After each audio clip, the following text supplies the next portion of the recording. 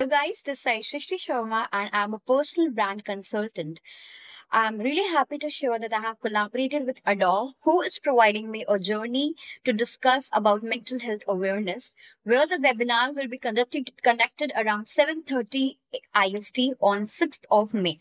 So apart from that, there will be a journey which will be discussed from your end and my end, and it will be very helpful interacting session kind of thing, where we could come to know more about you and more about us, discussing and making that helpful for all those who are suffering from mental anxiety and a lot more which can be discussed in this Be Well webinar.